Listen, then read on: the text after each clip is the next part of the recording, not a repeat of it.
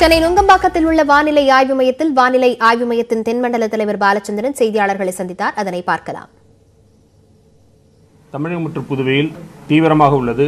கடந்த இருபத்தி நான்கு மணி நேரத்தில் தமிழகம் மற்றும் புதுவையில் அநேக இடங்களில் மழை பதிவாகியுள்ளது எட்டு இடங்களில் கனமழையும் ஒரு இடங்களில் ஒரு இடத்தில் மிக கனமழையும் பெய்துள்ளது. அதிகபட்சமாக நாகை மாவட்டம் திருக்குவளையில் பதிமூன்று சென்டிமீட்டர் மழை பதிவாகியுள்ளது வட தமிழகத்தை ஒட்டியுள்ள பகுதியில் வளிமண்டலத்தில் மேலடுக்கு சுழற்சி நிலவுகிறது. இதன் காரணமாக அடுத்து வரும் இருபத்தி நான்கு மணி நேரத்திற்கு தமிழகம் மற்றும் புதுவையில் அநேக இடங்களிலும் செப்டம்பர் இரண்டு மூன்று தேதிகளில் ஒரு சில இடங்களிலும் இடியுடன் கூடிய லேசானது முதல் மிதமான மழை பெய்யக்கூடும். கனமழை பொறுத்தவரையில் மேற்கு தொடர்ச்சி மலை ஒட்டியுள்ள மாவட்டங்கள் டெல்டா மாவட்டங்களில் ஓரிரு இடங்களில் கனமுதல் மிக கனமழையும் கள்ளக்குறிச்சி இவரு சலூன் கடைய வச்சு வருஷத்துக்கு கோடி ரூபாய்க்கு மேல சம்பாதிக்கிறாரு. நீங்களும் பண்ணணுமா? அவங்க கிட்ட இருந்து கத்துக்கணுமா? ஃப்ரீடம் ஆப்பை உடனே டவுன்லோட் பண்ணுங்க. கிருஷ்ணகிரி தருமபுரி உள்ளிட்ட வட தமிழக மாவட்டங்களில் ஓரிரு இடங்களில் கனமழையும் அடுத்த இருபத்தி நான்கு மணி நேரத்தில் பெய்யக்கூடும். சென்னை மற்றும் புறநகரை பொறுத்தவரையில் இடைவெளி விட்டு நகரின் சில பகுதிகளில் லேசான முதல் மிதமான மழை பெய்யக்கூடும். தென்மேற்கு பருவமழையை பொறுத்தவரையில் கடந்த ஜூன் ஒன்று முதல் ஆகஸ்ட் முப்பத்தொன்று வரையிலான காலகட்டத்தில் தமிழகம் மற்றும் புதுவையில் பதிவான மழையின் அளவு நாற்பது சென்டிமீட்டர். இந்த காலகட்டத்தின் இயல்பு அளவு இருபத்தி ஒரு சென்டிமீட்டர். இது இயல்பை விட எண்பத்தெட்டு சதவீதம் அதிகம். பதினெட்டு மாவட்டங்களில் இயல்பை விட நூறு சதவீதத்திற்கு அதிகமாக மழை பதிவாகியுள்ளது. ஆகஸ்ட் மாதத்தை மட்டும் பொறுத்தவரையில் தமிழகம் மற்றும் புதுவையில் தென்மேற்கு பருவமழை தொன்னூற்றி மூன்று சதவீதம். இயல்பை விட அதிகமாக பதிவாகியுள்ளது இது கடந்த நூற்றி இருபத்தி ரெண்டு ஆண்டுகளில் மூன்றாவது அதிகபட்ச மழையாகும். இதற்கு முன்னர் ஆயிரத்தி தொள்ளாயிரத்தி ஒன்பதாம் ஆண்டு நூற்றி இருபத்தேழு சதவீதமும் ஆயிரத்தி தொள்ளாயிரத்தி ஆறாம் ஆண்டு நூற்றி பன்னிரெண்டு சதவீதமும் இயல்பை விட அதிகமாக பதிவாகியுள்ளது. இந்த ஆண்டு ஆகஸ்ட் மாதத்தை பொறுத்தவரையில் தமிழகம் மற்றும் புதுவையில் தொண்ணூற்றி மூன்று சதவீதம் இயல்பை விட அதிகமாக பதிவாகியுள்ளது. சென்னை மற்றும் புறநகர் பகுதிகளில் பரவலாக மழை பெய்து வரும் நிலையில் நமது செய்தியாளர் செல்வகுமார் அளித்த கள தகவல்களை பார்க்கலாம். வளிமண்டலத்தில் ஏற்பட்டுள்ள கீழடுக்கு சுழற்சி காரணமாக தமிழகம் மற்றும் புதுவையில் பரவலாக பல்வேறு மாவட்டங்களில் மழை பெய்யும் என வானிலை ஆய்வு மையம் தெரிவித்துள்ளது. இதனையடுத்து சென்னையை பொறுத்தமட்டில் அங்கு இங்கு என்று குறிப்பிட்டு சொல்ல முடியாத அளவுக்கு சென்னை மாநகரம் அதனுடைய புறநகர் பகுதிகள் அனைத்திலும் இரண்டு மணி நேரமாக மிதமான மழை பெய்து வருவதால் பல்வேறு இடங்களில் தாழ்வான பகுதிகளில் ஓரளவுக்கு வெள்ளம் சூழ்ந்திருக்கிறது.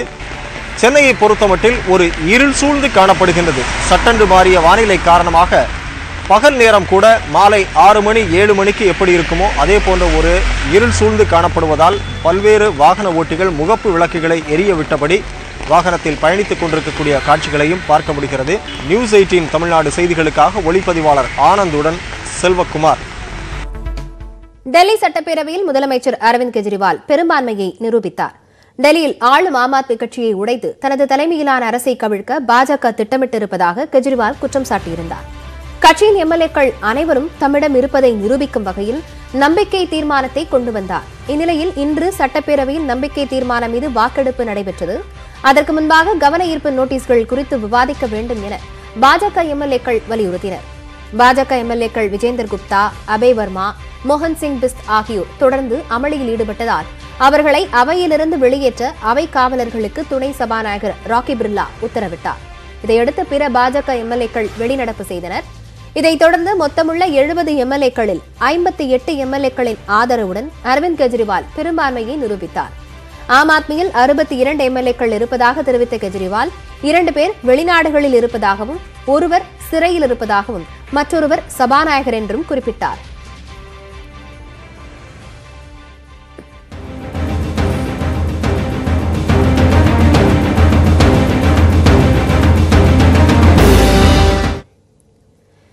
தமிழக நிதியமைச்சர் பி டி ஆர் பழனிவேல் தியாகராஜனும் பாஜக தலைவர் அண்ணாமலையும் டுவிட்டரில் வார்த்தை போரில் ஈடுபட்டனர். மதுரை விமான நிலையத்தில் நிதியமைச்சர் P. T. R. Palanivel Thiagarajan car மீது காலணி வீசப்பட்டது தொடர்பாக அண்ணாமலை தனது கட்சி பிரமுகருடன் பேசுவது போன்ற ஆடியோ ஒன்று வெளியானது.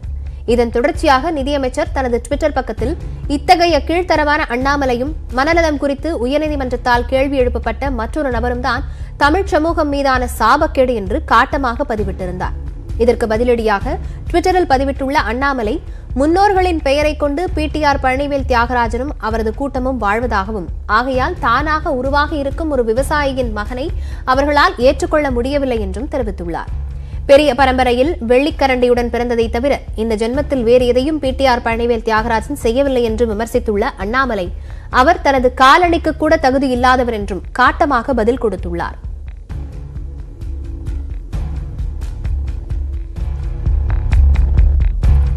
இந்நிலையில் சென்னையில் செய்தியாளர்களிடம் பேசிய அண்ணாமலை நிதியமைச்சர் பழனிவேல் தியாகராஜன் குறித்து டுவிட்டரில் தான் பதிவிட்டதில் எந்த தவறும் இல்லை என தெரிவித்தார். பழனிவேல் தியாகராஜனின் குடும்பத்தின் மூதாதையர்கள் கிழக்கிந்திய கம்பெனியிடம் இந்தியாவிற்கு சுதந்திரம் கொடுக்க வேண்டாம் என பேசியதாகவும் இந்த வரலாற்றை அவர் தெரிந்து கொண்டு பேச வேண்டும் என்றும் அண்ணாமலை விமர்சித்தார். பாரதிய ஜனதா கட்சி தலைவர் திரு அண்ணாமலை அவர்கள்தான் இந்த செருப்பு வீசுறதுக்கு காரணம்னு சொல்லியிருக்கார். நான் சொன்னேன் அப்படி செருப்பு வீசுற காரணமா இருந்தா அந்த செருப்பு கூட ஒரு தரம் இருக்கு அந்த தரத்து கூட நீங்கள் ஈடாக மாட்டீர்கள் என்று சொல்லியிருந்தேன். நான் சொன்னதுல எந்த விதமான தவறும் கிடையாது. காரணம் மிஸ்டர் பிடிஆர் என்று மரியாதை கொடுத்திருந்தேன். அவர் வந்து எப்பொழுதுமே தாத்தா தன்னுடைய தந்தையார் அடையாளத்தை வைத்து அரசியல் செய்கின்றார். அதை பற்றி தான் அதிகமாக பேசுகிறாரு அதனால் இனிஷியல் எடுத்துட்டா நீங்கள் என்ன ஆவீங்கன்னு கேட்டிருந்தேன். நான் கேட்டதில் எந்த விதமான தவறும் கிடையாது. மிக மரியாதையாக பதில் சொல்லியிருந்தேன். தொடர்ந்து பேசிய அண்ணாமலை யாருடைய கை கால்களையும் பிடித்து தான் இந்த பதவிக்கு வரவில்லை என்றார். தன்மானமிக்க அரசியல்வாதி என்றும் தன்னை அடித்தால் இருமடங்கு திருப்பி அடிப்பேன் என்றும் எச்சரிக்கை விடுத்தார். இந்த பையன் வந்து கிராமத்திலிருந்து வந்திருக்கான். சாதாரண பையன். எங்கிட்ட பெரிய பவர் இருக்கு. இந்த மாதிரி மிரட்டி பார்த்தாங்கன்னா என் பதில் அப்படித்தானே இருக்கும். இதையெல்லாம் மிரட்டி பார்க்கறதுக்குலாம் நாங்கள் வரல. இத்தனை பேர் அரசியல் இருக்காங்க. எந்த கட்சியாவது முதல் தலைமுறை பட்டதாரிக்கு நீங்கள் இவ்வளவு சமூக நீதி பேசுறீங்க. முதல் தலைமுறை பட்டதாரி எத்தனை பேர் திமுக வந்திருக்காங்க அரசியல்வாதிகளா? எத்தனை பேர் வந்திருக்காங்க அதில் யாராச்சும் தலையெடுத்து வந்தா அபா தகாத வார்த்தையில பேசுவீங்க ஆபாசம் காட்டுவீங்க திட்டுவீங்க ஐடிவிங்க வச்சு பேசுவீங்க. இதெல்லாம் கேட்டுக்கிட்டு நான் ஜீசஸ் கிரைஸ்ட் கிடையாது. ஒரு கன்னத்தில் அடிச்சா இன்னொரு கன்னத்தை காட்டிட்டு போறதுக்கு நான் இயேசு கிடையாது. அடிச்சீங்கன்னா திரும்பி அடிப்பேன். அக்ரஷனா இருந்தா டபுள் அக்ரஷன்ல வருவேன். இதனால நான் எதை இழந்தாலும் அதை பத்தி கவலை போறது கிடையாது. சென்னை சேலம் எட்டு வழிச்சாலை திட்டத்துக்கு எதிர்ப்பு தெரிவித்து கிராம மக்கள் கால்நடைகளுடன் தர்ணா போராட்டத்தில் ஈடுபட்டனர். கடந்த அதிமுக ஆட்சியில் சென்னை சேலம் இடையே எட்டு வழி சாலை அமைக்கும் திட்டம் கொண்டுவரப்பட்டது. ஆனால் விவசாயிகளின் கடும் எதிர்ப்பு காரணமாக தற்காலிகமாக நிறுத்தப்பட்டது. இந்நிலையில் எட்டு வழி சாலை திட்டத்தை திமுக அரசு எதிர்க்கவில்லை என பொதுப்பணித்துறை அமைச்சர் ஏவா வேலு தெரிவித்துள்ளார். இது தொடர்பாக அரசு கொள்கை முடிவு எடுக்கும் எனவும் அவர் கூறியுள்ளார். இந்நிலையில் எட்டு வழி சாலை திட்டத்துக்கு எதிர்ப்பு தெரிவித்து சேலம் அருகே பூலாவரி கிராமத்தில் ஆடு மாடுகளுடன் திரண்டு கிராம மக்கள் போராட்டத்தில் ஈடுபட்டனர். அதிமுக ஆட்சியின் போது எட்டு வழி சாலை திட்டத்துக்கு திமுக எதிர்ப்பு தெரிவித்ததாகவும் அந்த திட்டம் ரத்து செய்யப்படும் என வாக்குறுதி அளித்ததால் திமுகவுக்கு வாக்களித்ததாகவும் விவசாயிகள் தெரிவிக்கின்றனர். எட்டுவலை சாலை வந்து அண்ணா திமுக கொண்டு வர காலத்தில் வந்து எங்களுக்கு ஆதரவாக சப்போர்ட்டாக நின்ன திமுக வந்துங்க இப்போ அவங்களும் ஏவா வேல் அவர்கள் என்ன சொல்கிறாங்கன்னா நாங்கள் எந்த காலத்திலையும் எட்டு வழிச்சாலை வேண்டாம்னு சொல்லவே இல்லைங்கிறாரு. ஆனால் திராவிட முன்னேற்ற கழகம் வந்து எம்பி எலெக்ஷன்லேயே ஆகட்டும் அசம்பிளி எலெக்ஷனில் ரெண்டு எலெக்ஷன்லையுமே தேர்தல் வாக்குறுதியாக கொடுத்துருக்குறாங்க. நாங்கள் ஆட்சிக்கு வந்தால் எட்டு வழிச்சாலை கொண்டு வர மாட்டோம் அப்படின்னு. இப்போ அவங்களோட நிலப்பாட்டை மாற்றிட்டு வந்து கொண்டு வர மாதிரியான ஒரு இதை தோரணையில் அவங்க சொல்லிட்டு இருக்காங்க. ஏவா வேல் அவர்கள் வந்து எட்டு வழிச்சாலை வந்து நாங்கள் எப்போவுமே வர வேண்டாம்னு சொல்லலை அப்படிங்கிறாரு. அதை கண்டிச்சு தான் இந்த கண்டன ஆர்ப்பாட்டம். நிதிநிலையை சரி செய்த பின்னர் குடும்பத் தலைவர்களுக்கு ஆயிரம் ரூபாய் உரிமை தொகை வழங்கும் திட்டம் நிறைவேற்றப்படும் என்று முதலமைச்சர் ஸ்டாலின் தெரிவித்துள்ளார். கோயம்புத்தூரில் பொங்கலூர் பழனிசாமியின் இல்ல திருமண விழாவில் கலந்து கொண்டு மணமக்களை முதலமைச்சர் ஸ்டாலின் வாழ்த்தினார்.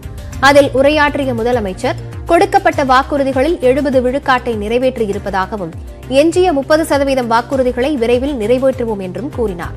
மறைந்த முன்னாள் முதலமைச்சர் ஜெயலலிதாவின் மரணத்தில் மர்மம் இருப்பதாக ஓ பன்னீர்செல்வம் கூறியதாகவும் அவரை சரி செய்ய எடப்பாடி பழனிசாமி பெயரளவில் ஒரு கமிஷன் அறிவித்ததாகவும் முதலமைச்சர் விமர்சித்தார். ஓய்வு பெற்ற நீதியரசர் ஆறுமுகசாமி ஆணையத்தின் அறிக்கையை சட்டமன்றத்தில் வெளிப்படையாக வைத்து நடவடிக்கை எடுப்போம் என்றும் முதலமைச்சர் மு ஸ்டாலின் கூறினார். அறிக்கையில் பல பிரச்சனைகள் இருக்குது அதெல்லாம் இப்போ நான் சொல்ல மாட்டேன். சட்டமன்றத்தில் வரும். ஏன்னா தான் வெளிப்படையாக வைக்கிறோம். எங்களுக்குள்ளே வச்சுக்கிட்டு நாங்கள் முடிவெடுக்க மாட்டோம். சட்டமன்றத்தில் வச்சு வெளிப்படையாக வச்சு அதுக்கு உரிய நடவடிக்கையை சட்டமன்றத்தின் மூலமாகவே நிறைவேற்றி அதை நிறைவேற்றி காட்டுவோம் என்ற உறுதியை நான் இந்த நேரத்தில் தெரிவிச்சுக்கிறேன். தூத்துக்குடி துப்பாக்கிச் சூடு தொடர்பான அறிக்கையும் சட்டமன்றத்தில் வைக்கப்படும் என்று முதலமைச்சர் கூறினார். குடும்ப தலைவிகளுக்கு ஆயிரம் ரூபாய் உரிமைத் தொகை வழங்குவோம் என்ற உறுதிமொழி நிதி நிலைமையை சரி செய்த பின் நிறைவேற்றப்படும் என்றும் முதலமைச்சர் உறுதியளித்தார். உரிமை தொகை என்னாச்சு? மாதம் ஆயிரம் கொடுக்குறேன்னு சொன்னீங்களே சொன்னீங்க வரும். நிதியை ஓரளவுக்கு சரி செய்து கொண்டிருக்கிறோம். விரைவில் அதையும் சரி செஞ்சு நிச்சயமாக உறுதியாக அதையும் நிறைவேற்றுவோம் என்பது உறுதி அதில் எந்த சந்தேகம் பட வேண்டாம். நான் கலைஞருடைய மகன். சொன்னதை செய்வான் இந்த ஸ்டாலின். தமிழகத்தில் இருபத்தெட்டு சுங்கச்சாவடிகளில் நள்ளிரவு முதல் கட்டண உயர்வு அமலுக்கு வந்தது. சுங்க கட்டண உயர்வு தங்களுக்கு பெரும் சுமை என வாகன ஓட்டிகள் வேதனை தெரிவித்துள்ளனர்.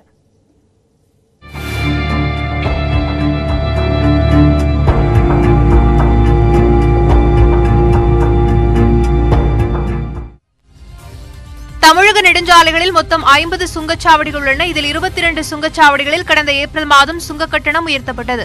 எஞ்சியுள்ள சுங்கச்சாவடிகளில் வியாழக்கிழமை முதல் புதிய கட்டணம் அமலுக்கு வந்துள்ளது. சேலம் மாவட்டத்தில் ஓமலூர் மேட்டுப்பட்டி சங்ககிரி ஆகிய சுங்கச்சாவடிகளில் கட்டணம் உயர்த்தப்பட்டுள்ளது. அதன்படி கார் ஜீப் ஆகிய வாகனங்கள் ஒருமுறை செல்ல பத்து ரூபாய் உயர்த்தப்பட்டு அதற்கான கட்டணம் தொன்னூற்றி ஐந்து ரூபாயாக அதிகரிக்கப்பட்டுள்ளது. பலமுறை சென்று வர நூற்று நாற்பத்தி ஐந்து ரூபாய் கட்டணம் வசூலிக்கப்படுகிறது. இலகு ரக வாகனங்களுக்கு நூற்று அறுபத்தைந்து ரூபாயாகவும் பேருந்துகளுக்கு முன்னூற்றி முப்பத்தி ஐந்து ரூபாயாகவும் சுங்க கட்டணம் அதிகரிக்கப்பட்டுள்ளது. இது வந்து எங்களுக்கு பெரிய இழப்பு ஏற்படுத்துது. இப்போ இந்த மழை காலங்களில் லோடு அது இல்லை.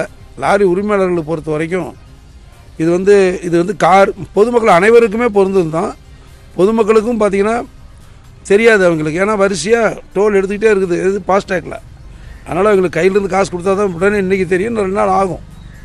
இதெல்லாம் எல்லாத்துக்குமே பொதுமக்களுக்கும் சரி லாரி உரிமையாளர்களுக்கும் சரி இது எங்களுக்கு பெரிய இழப்பாக தான் நாங்கள் கருதுகிறோம் திருச்சி மாவட்டத்தில் சமயபுரம் திருப்பராய்த்துறை உள்ளிட்ட சுங்கச்சாவடிகளில் நள்ளிரவு முதல் சுங்க கட்டண உயர்வு அமலுக்கு வந்தது. பேருந்துகளுக்கான கட்டணம் நூற்றி எண்பத்தி ஐந்து ரூபாயாகவும் லாரிக்கு முன்னூறு ரூபாயாகவும் அதிகரிக்கப்பட்டுள்ளது. ஒரு ரெண்டு வருஷமாக கொரோனா பாதிப்புனால வந்து பார்த்தீங்கன்னா வா எங்களோட வண்டிகள்லாம் ஓடலை. இப்போ தான் ஒரு ஆறு மாத காலமாக வந்து ஓடிக்கிட்டு இருக்கு ஒவ்வொரு சவாரி கிடைக்கிறது ரொம்ப கஷ்டம். இது வந்து கஸ்டமர் கையிலேருந்து கொடுக்குறதாலும் சரி நாங்கள் வந்து டோல் வந்து எடுக்கிற மாதிரி இருந்தாலும் சரி இது வந்து ரொம்ப அதிக ரேட்டு இது. இப்போ வந்து நாளுக்கு நாள் வந்து வாகனம் பெருகிட்டு தான் வருது. இப்போ போன வருஷம் ஸ்டேட்டஸ் வந்து ஐம்பதாயிரம் வாகனங்கள்னா இப்போ வந்து ஒரு லட்சம் வாகனங்கள் கிராஸ் ஆகுது இங்கே இப்போ வந்து வாகன எண்ணிக்கை கூடும் போது இவங்க டோல் கட்டணத்தை குறைக்கிறதுக்கு ஏதாவது ஒரு வழி பண்ணலாம் அரசாங்கம். விழுப்புரம் மாவட்டம் விக்கிரவாண்டி சுங்கச்சாவடியில் நள்ளிரவு முதல் சுங்க கட்டண உயர்வு அமலுக்கு வந்தது. கார் ஜீப் ஆகிய வாகனங்கள் ஒருமுறை செல்வதற்கான கட்டணம் நூறு ரூபாயாகவும் இலகுரக வாகனங்களுக்கான கட்டணம் நூற்றி எண்பது ரூபாயாகவும் உயர்த்தப்பட்டுள்ளது. திருச்சி சமயபுரம் திருப்பராய்த்துறை பொன்னம்பலப்பட்டி கரூர் வேலஞ்செடியூரில் உள்ள சுங்கச்சாவடிகளில் கட்டணம் உயர்த்தப்பட்டுள்ளது. தஞ்சை வாழவந்தான் கோட்டை விருதுநகர் புதூர் பாண்டியபுரம் மதுரை நாமக்கல் ராசம்பாளையம் ஆகிய சுங்கச்சாவடிகளிலும் கட்டண உயர்வு அமலானது. சேலம் ஓமலூர் நத்தக்கரை வைகுண்டம் வீரசோழபுரம் மேட்டுப்பட்டி திண்டுக்கல் கொடைரோடு தருமபுரி பாளையம் குமாரபாளையம் விஜயமங்கலம் ஆகிய சுங்கச்சாவடிகளிலும் சுங்க கட்டணம் அதிகரித்துள்ளது. இதேபோல் விக்கிரவாண்டி மொரட்டாண்டி உளுந்தூர்பேட்டை செங்குறிச்சி உள்ளிட்ட இருபத்தெட்டு சுங்கச்சாவடிகளில் கட்டணம் உயர்ந்துள்ளது. மேலும் பல்வேறு செய்திகளை பார்க்கவிருக்கிறோம். குறிப்பாக சென்னையில் மழைநீர் வடிகால் பணிகள் தாமதமாவது ஏன்? விவரமறியலாம் இடைவேளைக்கு பிறகு.